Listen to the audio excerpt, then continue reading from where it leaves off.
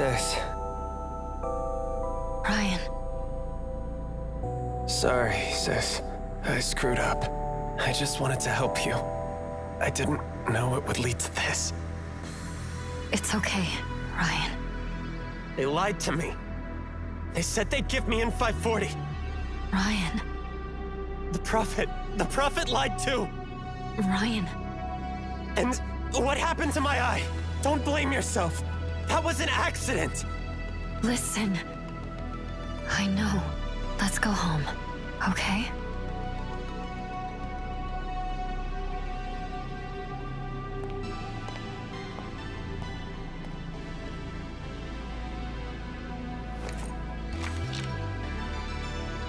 The Council has instructed to retain base security.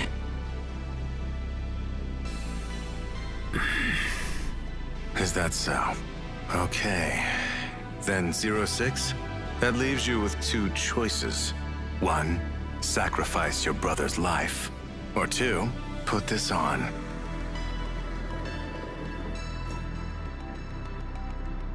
Something that can control the power within you. What is it? If I put this on, will you let Ryan go? Don't listen to them. It's another trap for sure. Take me instead. Will this work? Let go of Ryan. Very well. You've made a smart decision. Don't worry. It's just a security measure.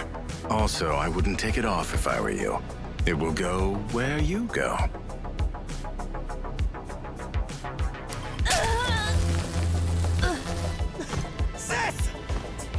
You liar!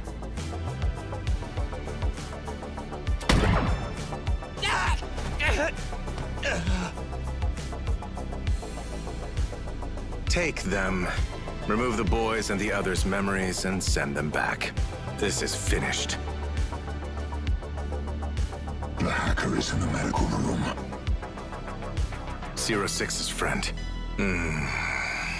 These two share a close bond. I need to examine it more. With her, we'll have a better chance of controlling Zero Six. Next, we're going to deal with C.